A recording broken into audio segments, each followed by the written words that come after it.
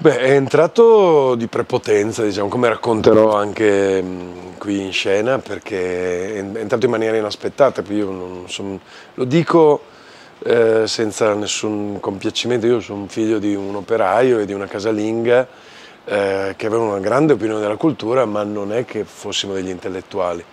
E che a un certo punto, per una serie di fortuite coincidenze, sono finito in un'università in cui a un certo punto mi hanno cominciato a parlare di Shakespeare e l'ho cominciato a leggere come si legge mm, qualsiasi libro, no? anche per curiosità, per intrattenimento. Non sapevo facesse parte di un canone, che ci fosse un tempio in cui dovevo entrare solo a certe condizioni.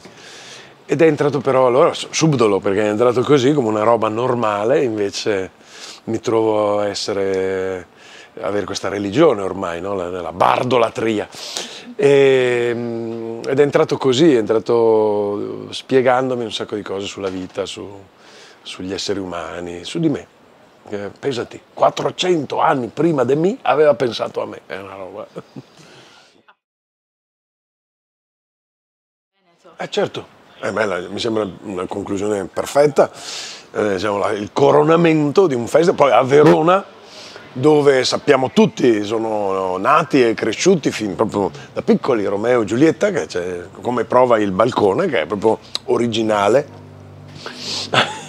e per cui è il posto giusto.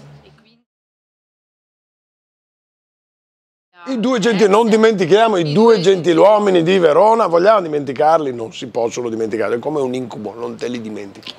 E Relir, se fosse stato Re Veneto? Relir ha un capannone? No, un capannone. Ah. Asolo, zona Asolo. Sono tutti veneti, anche Macbeth. Sì. Ah sì, sì, più, più, verso la montagna. Però. E Amleto? Amle ah, Amleto, guarda, è Amleto è proprio del Treviso, ma proprio tanto del Treviso. Beh, ehm, io lì ho creato poco perché ho la fortuna di avere Giorgio Gobbo che ha fatto tutto e abbiamo, tra l'altro abbiamo dei documenti di primo ordine perché facciamo sentire un sonetto di Shakespeare che viene adattato alla musica pop nel secolo scorso e che diventa subito top of the pops in 30 secondi, per cui facciamo sentire alla gente la pregnanza di Shakespeare oggi.